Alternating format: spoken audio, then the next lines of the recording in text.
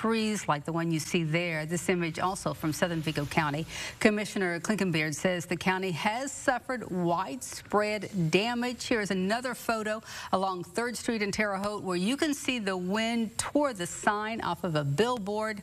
The city of Terre Haute said on its Facebook page that city transit is currently down as some of the buses were damaged.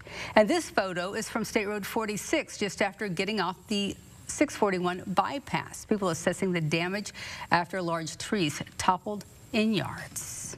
Well, Zach Stidham, he joins us live from Southern Vigo County. He's near Ivy Tech. Mm -hmm. Zach, what are you seeing there? Yeah, it's a pretty rough scene out here. Uh, the more I drove around, the more I saw more trees and power lines down. Uh, multiple structures had trees on them as well as power lines all down the road. Uh, we also checked with emergency management agencies across the area. Uh, the Vigo County EMA director says Vigo County has numerous trees and power lines down. She says areas south of I-70 has been hit the hardest. She mentions areas near 641, Honey Creek, and Riley are some of the hardest hit.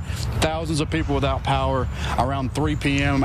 Just after the storms passed through, Duke Energy was reporting around 24,000 customers without power. Uh, most of these are in Vigo County area, but are also in Clay, Sullivan, and Greene counties.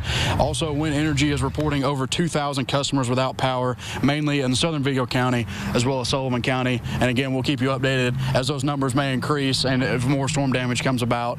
Uh, back to you guys in the studio.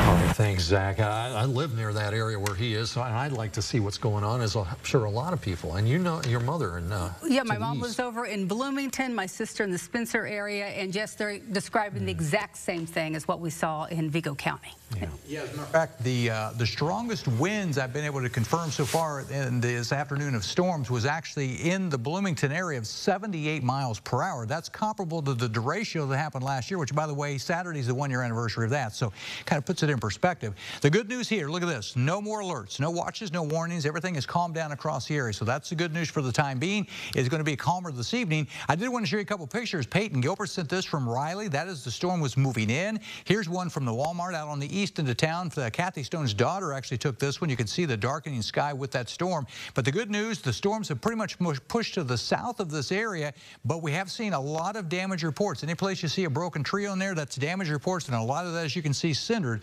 over Vigo County. We'll be back with more pictures and talk about maybe some more storms later tonight coming up in a little bit. Yeah, we'll be talking about this for a while. All right.